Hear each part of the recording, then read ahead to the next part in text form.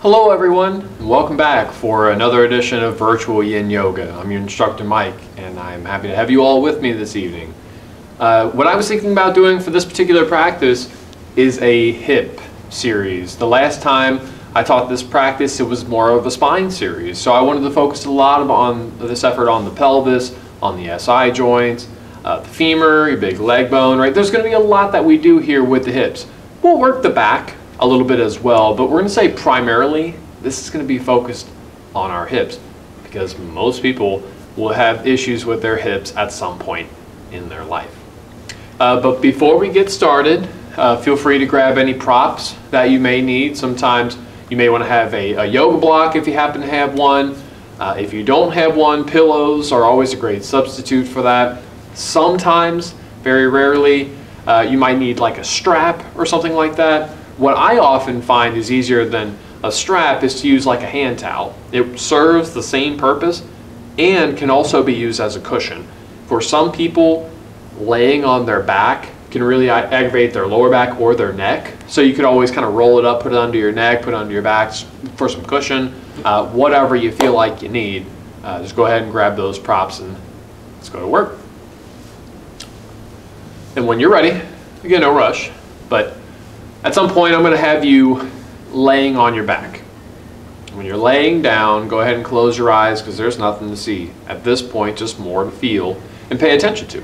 And I always want you to pay attention to your breath. Throughout the course of the practice, I want you to pay attention to it and do the breathing technique that's called belly breathing. And belly breathing, if you're not quite sure what it is, place a hand on your stomach below the belly button. You'll feel the stomach expand when you take an inhale. It will contract when you take an exhale. Again, this is belly breathing. It's a breathing technique that I recommend for this practice because it's a slower paced practice and we want to slow the body down. Breathing low, your diaphragm is going to make that happen. It slows the heart down, slows the nervous system down, it slows the mind down. And again, what we're doing here is a yin yoga practice. Yin yoga is a very gentle and passive style of yoga where you're holding slow static postures for an extended period of time to stretch the body. It's not just about stretching the muscles though. We're going to stretch what's called our connective tissues. Connective tissues are the deeper tissue. It's what holds the muscles, the bones, and the organs in place and in line. It's a really important thing to work. A lot of us are just unfamiliar with how to do it. But how we do it is by holding poses for a while. And we're talking roughly three to four minutes with each individual pose. Could be a long time, and I understand that. So if your better judgment leads you out of something early, that's fine. You don't have to hold the pose the entire time. But if you feel comfortable, you want to hold it the entire time, or maybe even a little longer, it's up to you. But my advice to you is to let experience be your guide. Let your body tell you what you need to do. But during the hour, if you find out that you're struggling, listen up to the modifications that I will suggest. I'll be throwing a, a lot of options out there for you so you can kind of pick and choose what works best for you. But my advice to you again is to let experience be your guide. Let your body tell you what you need to do.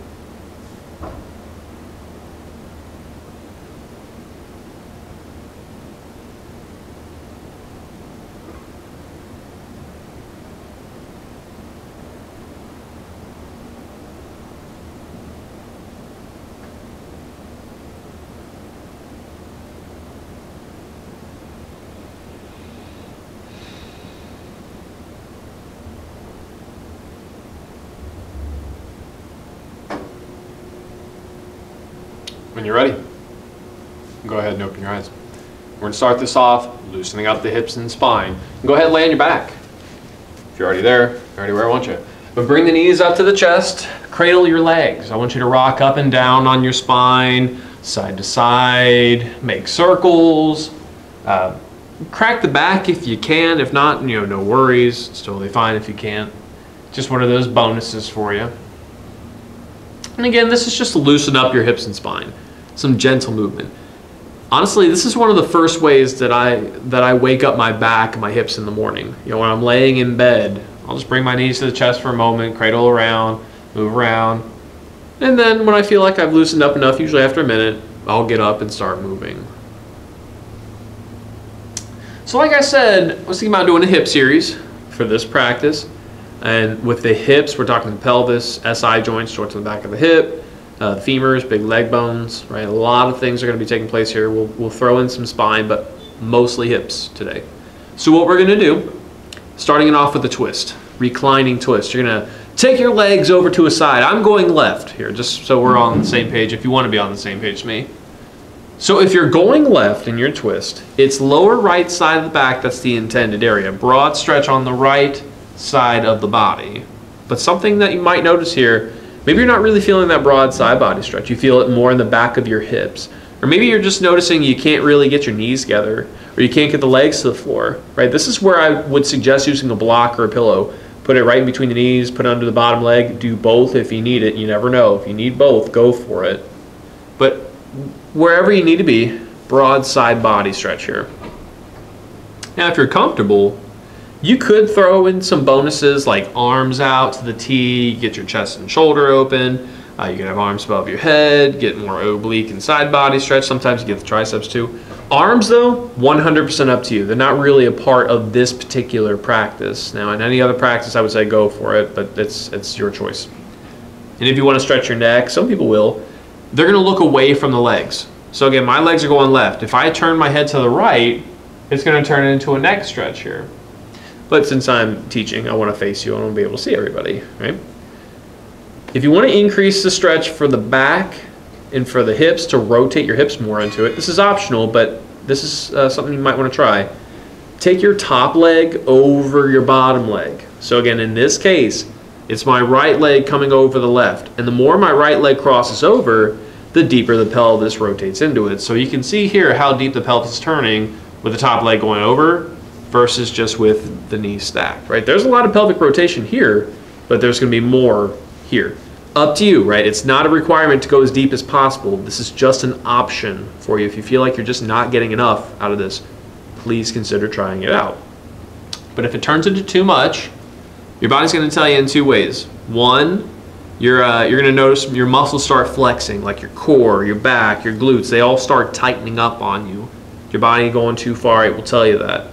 Another sign is if you're starting to feel burning localized pain right here in the back of your hips. If you're feeling anything in the back of the hips, directly in the SI joint, dial this back. Please understretch, right? Don't overdo it.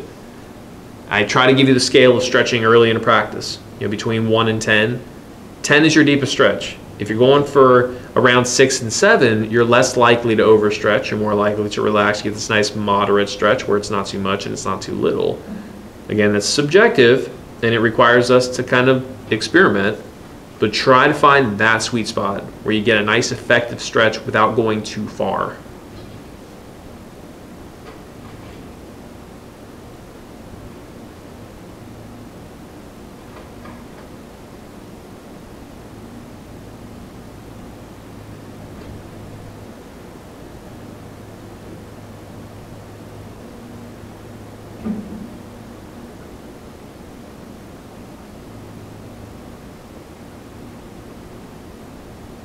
When you're ready, no rush, no hurry, you can go ahead and slowly unwind from the twist. Right? Take your time on that. that. So you lay down for a moment, knees bent, feeling the floor is fine, or you could straighten your legs, just wherever you're comfortable. Right? But take a moment, right? Really just observe what you went through.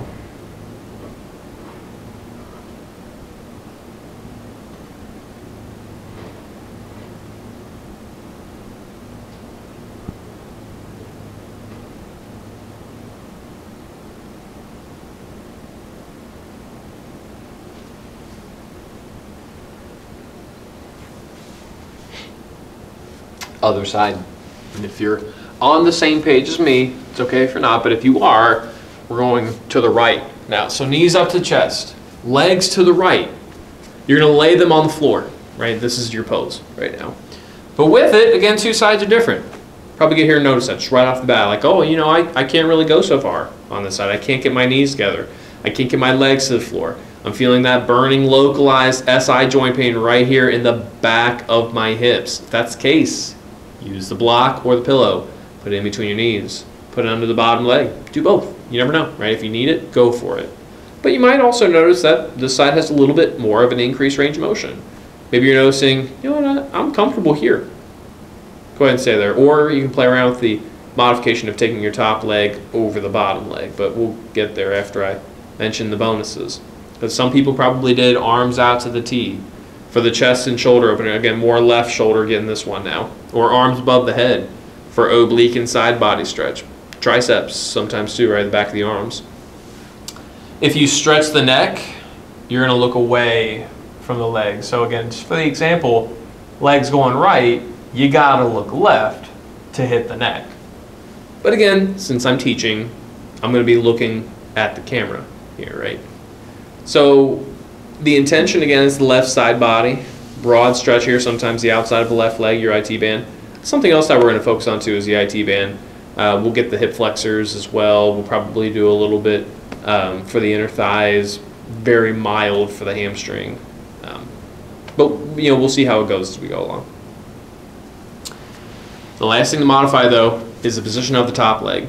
Keeping your knees stacked is fine, but if you need more, top leg goes over the bottom leg. So again, in this case, it is the left leg going over the right to feel a little bit more of that side body stretch to have more pelvic rotation, right? There's just a, a deeper turn here, and it might be necessary, it might not be. If it's too much, back off. Knee stacked is fine. Not enough, keep going.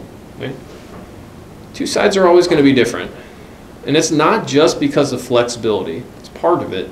But the other part is because you're asymmetrical with your skeleton. Right? The two sides of your body are not shaped the same. You have different uh, shapes when it comes to your actual bones. So don't worry about alignment. Perfect alignment does not exist. What we focus on, and that's all we care about, is functional perspective. Do I feel the stretch itself?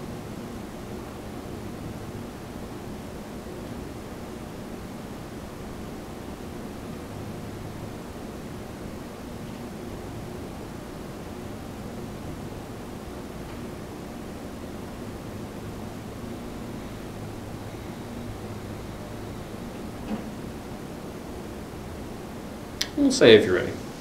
Here's your time. Slowly unwinding from your twist. Take your time on out. Just lay down for a moment. You can cradle legs or just lay flat, knees bent, feeling the floor. Whatever works for you. Take a moment.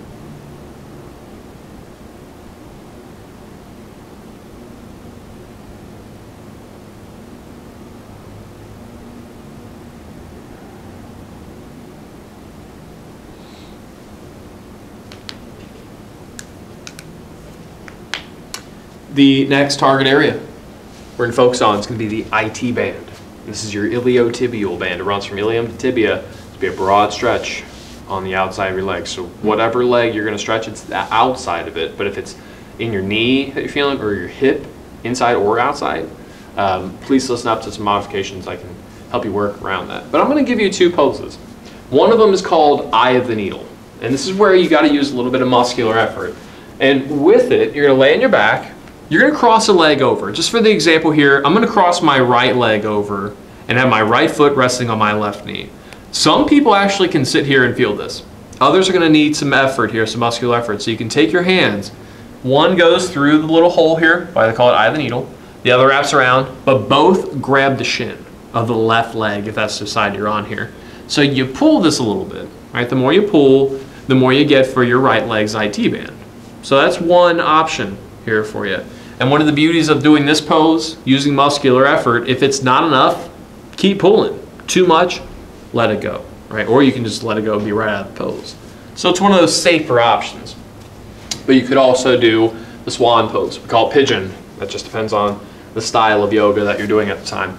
And with it, I'm going to continue being on my right side here. So you got one leg out in front. You got your right leg out in front if you're here. Uh, you could have the shin parallel with your mat if you got one. If not, you know, don't worry about it, but you could bend your knee as well, bring your foot in close to your groin. So whatever protects your hip and knee, that's what you need to do. And then you lean forward.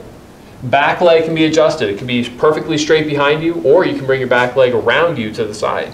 It plays around with the angle of the pelvis. When the back leg starts coming around to the side, your front hip turns out more. So your right hip, or whatever hip it is, the front one can turn out and lay on the floor. For a lot of people, it's not going to happen with the back leg straight behind them. So if you're noticing that, it's really not abnormal. But if you have the back leg straight behind you, your hip is close to the floor, you're feeling plenty of that broad stretch, then you're, you're good to go, right? You're golden. It's wherever you need to be. And remember to breathe. Those deep inhales, those deep exhales, really sink into the pose. Let the body relax. Let your muscles soften here. That's the physical sign that you're relaxing when muscles can soften. If they're flexing, they're tightening, they're engaging, right? That's a physical thing. That's too active. And we want to be inactive. We want to be passive with this style of practice.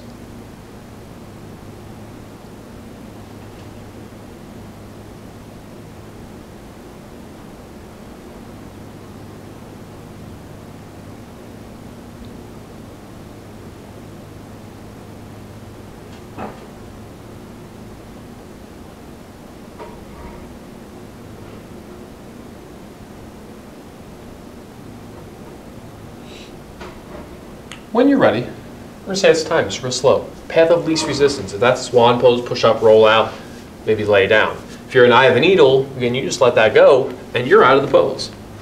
But take a moment here. Lay down, feel the difference between the two. Right? We've only worked that one side, I'm sure it feels different.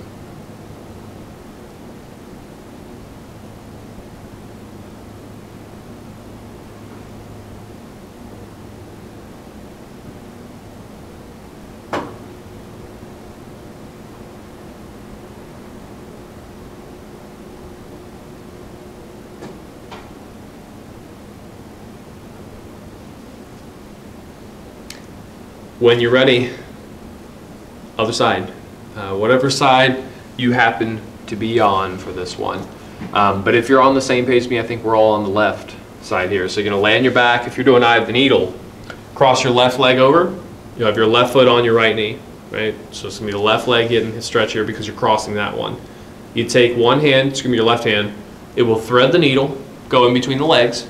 The right hand will reach around but both are going to grab onto the shin of the right leg and you're going to pull this right? You're going to have some muscular effort. So if you're not getting enough keep pulling.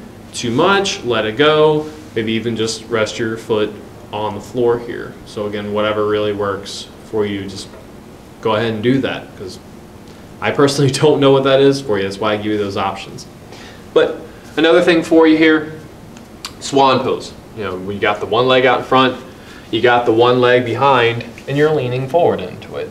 But two sides are different. You'll probably play around with the alignment. You know, maybe on this side, you have to have your front shin basically parallel to the top of the mat. Or maybe not. Maybe you got to bend the knee. Bring your foot in close to your groin. Whatever's going to protect your hip and knee, do that, right? And then the back leg we had mentioned too. It could be straight behind you, or you could bring your back leg around you to the side for some more external rotation.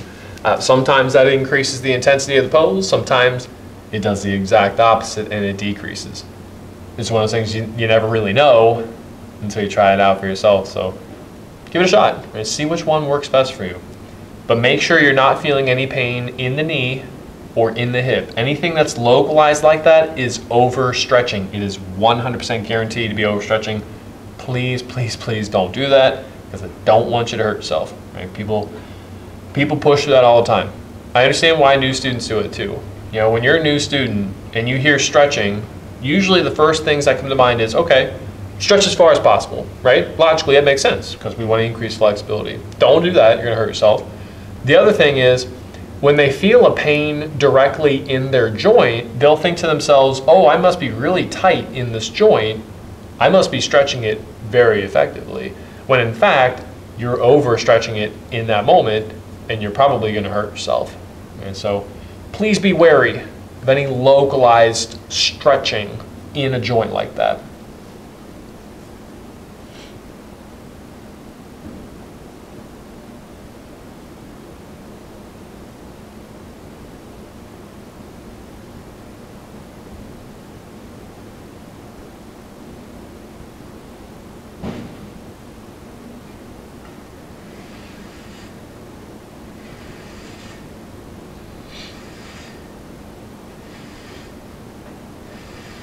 Ahead and take a few deep breaths, and when you're ready, there is the time for you. Just really slowly let yourself on out. Right? Lay that foot down, leg down. Lay on your stomach, lay on your back, wherever you're comfortable, go there. Just rest for a moment.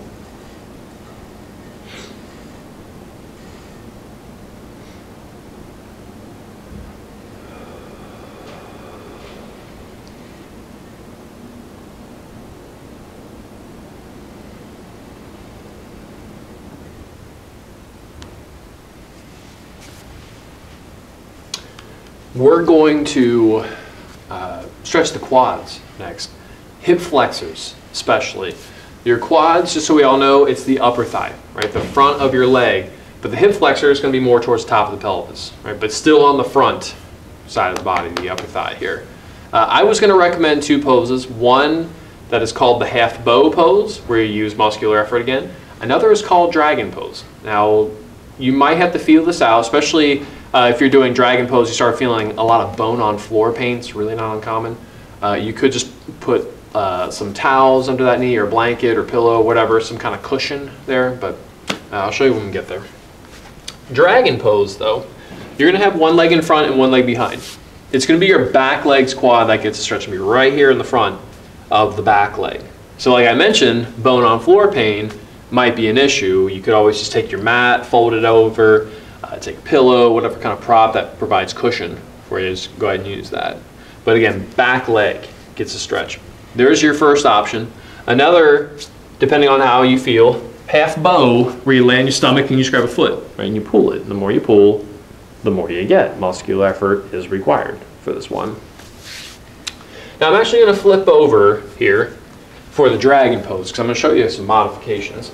Uh, so again, it's still my right leg getting the stretch here, right? So what I have going on right now here, I have the uh, right hip getting the stretch, my left foot's in front, my right leg is behind. If you want to modify this, uh, what I like to do is turn into my front leg. So if your left leg is in front like it is for me, turn left a little bit and see what that does for you because sometimes that's going to increase that intensity a little bit. Now you don't have to go all the way like to the point where you're, sometimes we call it the feed me grapes pose, like if you're a renaissance painting and you're getting uh, fed grapes, right? That's why I call it that. You don't have to go that far, but some people will. It's up to you. Actually, I felt pretty good. Uh, when I'm here, I'm not only feeling the hip flexor, I'm also feeling my oblique stretch a little bit. It's sort of a bonus, not really the intention. But a lot of times those areas are intertwined with each other. And we want to make sure that we're taking care of our hip flexors. We want to make sure that we're taking care of the quads. Uh, specifically for your hip flexors, um, the iliopsoas is what they call it. Uh, technically, it's two different muscles, the iliacus and the psoas major. They just happen to meet at one particular point, and that's why they call it that. Um, but any tightness in those areas can cause issues with your pelvis. Specifically, it starts pulling it forward. It's called an anterior tilt. And if it if it's too tight and pulls things too far forward, you're gonna start feeling pain in L5S1. If you've ever had back pain, you've probably had it in that particular part of your spine. The L5S1 is right where the lumbar, your lower back meets your sacrum. So again, right into that hip joint. It's going to cause some serious issues. And aside from that, if the psoas major is too tight, that particular muscle is connected not only from your hip, but also to your lumbar spine. So if it's too tight and it's pulling things forward in your pelvis, your whole spine is going to go with it. And imagine how much pain that's going to cause you. So again, stretching these areas can help prevent that from happening. And trust me, it is worth preventing because most people are going to deal with hip and back issues at some point. So I know I said that we're going to focus primarily on the hips, but you can't work your hips without working your spine in some way because of how deeply connected they all are.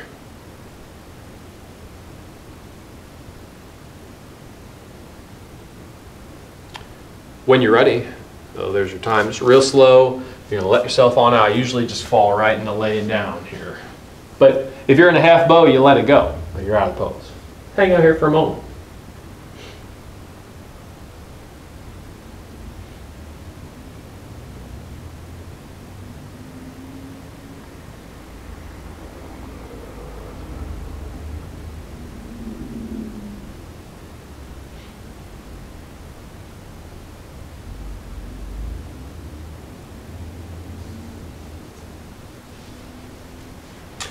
Other side when you're ready. Uh, whatever side you are on, just make sure it is your other one. Um, I suggested dragon pose. I also suggested half bow pose. Uh, with a dragon pose, remember it's basically a lunge. You got one leg in front, you got one leg behind. Right now, my right leg's in front. My left leg is behind, and this is the one that's gonna get the stretch. And again, there's a reason why I'm setting up this way, because I wanna face the camera. It's easier that way. But again, right leg in front, left leg behind. It's the front of the left leg getting the stretch. If you don't feel comfortable doing this, you could always just do a half bow and lay on your stomach and grab the foot. And the more you pull, more you get. If you're really tight in your quads, it's probably not going to matter uh, if you do that pose or not. But again, with a dragon pose, if you're doing it, um, hip flexors, really the intended area of this. I had mentioned modifications by turning into your front leg. So if your right leg is in front, turn right a little bit, and sometimes it's going to dial up the intensity. Actually, pretty much all the time it's going to. To the point where maybe, again, you're doing the feed me grapes pose we have mentioned, right? So I'm a renaissance painting right now. Feed me those grapes. I call that. Up to you, you don't have to turn so far into it. But again, that particular modification and all modifications that I give you for the most part, it's going to play around with angle changes in your pelvis. Like how far do I tilt it a certain way? Does it go does it go forward? Does it go to the sides? Go back? It do a combination of those things? And that's the secret of yoga right there. It's how do I tilt my pelvis into it to give me a different stretch? And who knows what exactly the right way is. This is why I give you options so we can feel it for ourselves and we can personally experiment with that because that's the only way we're really going to figure it out.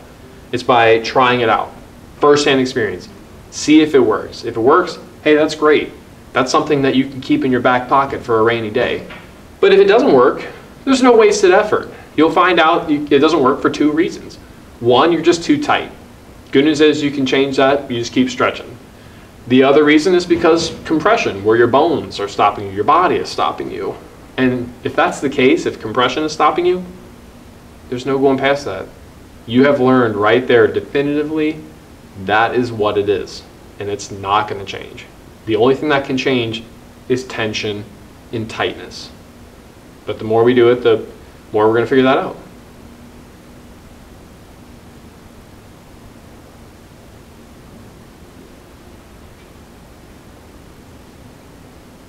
And if you're ready, we're going to say that's the time. Just really slowly letting yourself out. And a lot of times in the dragon, you're just going to come right on the lying on your stomach. Half bows, let them go.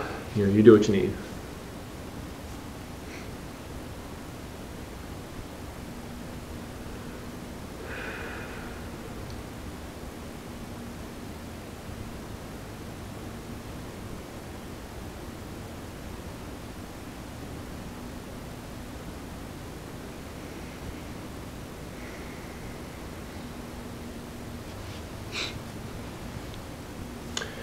We're gonna do a hip opener.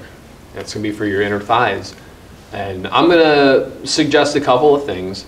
One is gonna be one that's primarily for the inner thighs, nothing to do with the back, and the other one is gonna have to do with the back.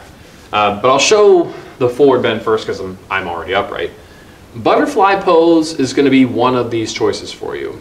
Soles of the feet together, lean forward. You get the inner thighs, you get your back stretch, right? Nice broad stretches here. If you feel any pain in your knees or in your hips, you can always play around with where your feet are. Are they closer in? Are they farther away? Um, if you're really dying to do a forward bend, and, and you might be, not abnormal, dragonfly pose is fine too. It can work around that knee and hip pain. Inner thighs get the stretch here when you spread the legs out and you lean forward. You get the hamstrings here too. This is actually going to be the only hamstring stretch that I suggest with this particular part of the practice because again, we're, we're primarily focusing on the hips today. So Dragonfly could be your choice. If you want to do more of the deep hip opener, reclining butterfly. Soles of the feet together, lay on your back, right? This is the pose. And the reason why it's more for your hips is because you're keeping your hips and your sacrum level with the floor. That right there is what opens us really up. And keeping the pelvis flat here as, as best as you can it can help reestablish the uh, the natural position of your pelvis. Like we had mentioned, if things are too tight, like your, your hip flexors, they start pulling your pelvis forward, this is going to help put it back. Vice versa, if you're really tight in your hamstrings and it pulls your pelvis backward, this can help tilt it forward. So again, it's like a delicate game that you constantly have to play. And we have to do it all the time, right? We, the body is always changing. You're always tightening up. There's there's just no way around that. The only thing that you can do to reverse that process of tightening is exercise. So if you can do yoga every day, do yoga every day. But if you don't really enjoy doing yoga every day, which I know not everybody does, which is fine, I don't take personal offense to that.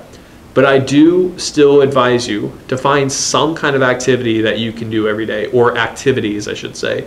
So, like, find like two, three, four different exercises, routines, whatever that you enjoy doing. Like, if you're someone who likes to go run, you like to walk, you like to spin, you like to swim, you like to lift weights, you like to play sports, any kind of activity is better than no activity. So find something you can do, whether it be one or four or five different things, and cycle through it.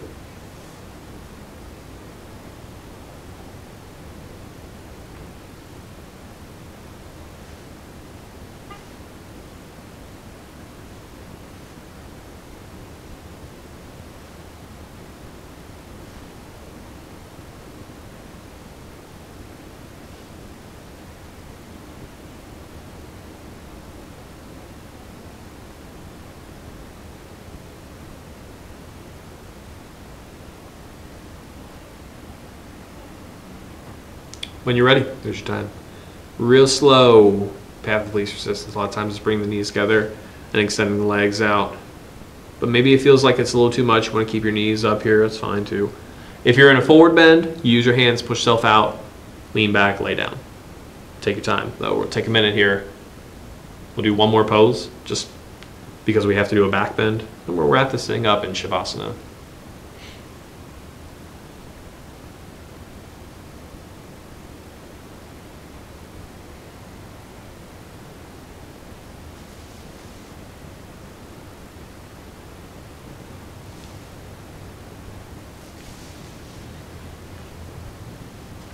The back bend is the last thing we have to do.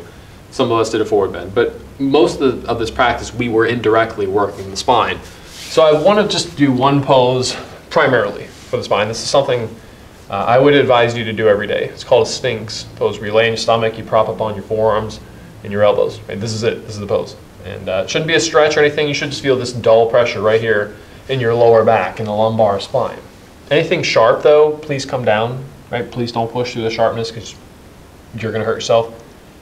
Might not be today, but you'll set yourself up for an injury in what's called the last straw effect. And it's exactly what it sounds like. The ligament, the tendon, the muscle, the joint, whatever it is, it's at its last straw. And the next time you, you move it in a different way or a weird way, it's going to go. So we want to prevent that from happening if we can. Now, I do understand accidents happen. They happen all the time. But the last straw effect is something we can potentially prevent by maintenance of exercise. Again, just breathe into this. Really do your best to let your stomach muscles relax. A lot of times when you're doing a back bend, your core will start flexing, actually start to pull you forward. So let it soften. And sometimes we can go a little bit deeper into it.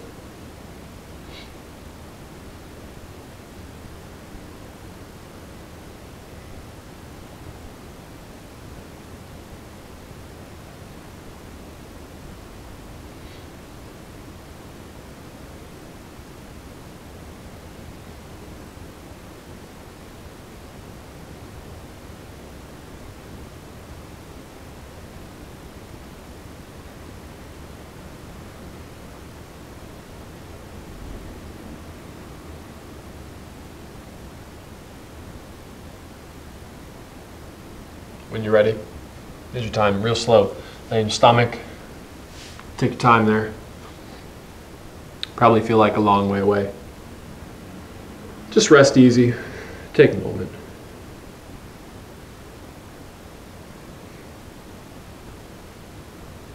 I will say though, after a deep back bend, it's going to feel really nice to do a gentle forward bend. So like a child's pose might be something you want to head to. But you can always do other things like downward facing dog, if you know what that is, you know, whatever you feel like you need.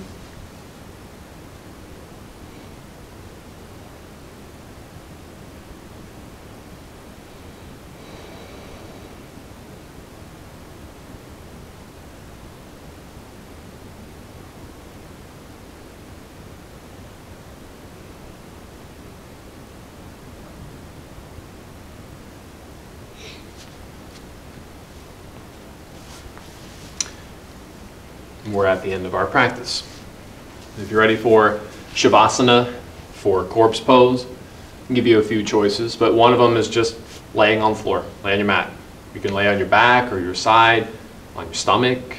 Uh, you can sit upright like you're in meditation. Just wherever you're comfortable, go there and then close your eyes. Nothing to see at this point, just more to feel and pay attention to. And as always, focus on your breath. Breathe low in your belly, low in your diaphragm. Turn your senses, your awareness within.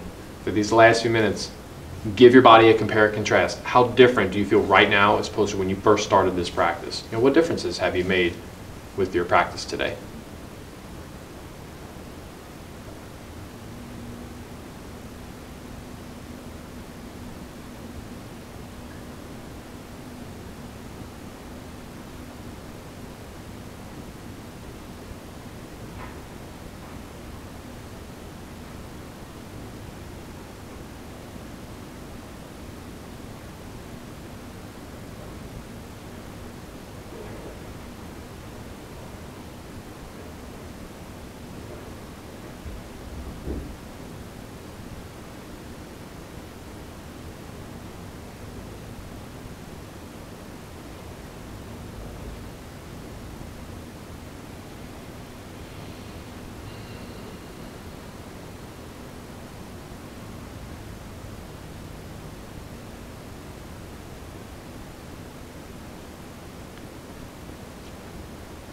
No formal ending to the practice. Stay in your Shavasana as long as you like, but that is officially all that I have for you. I want to thank you all for watching and sharing your practice with me. It has been my pleasure. Namaste.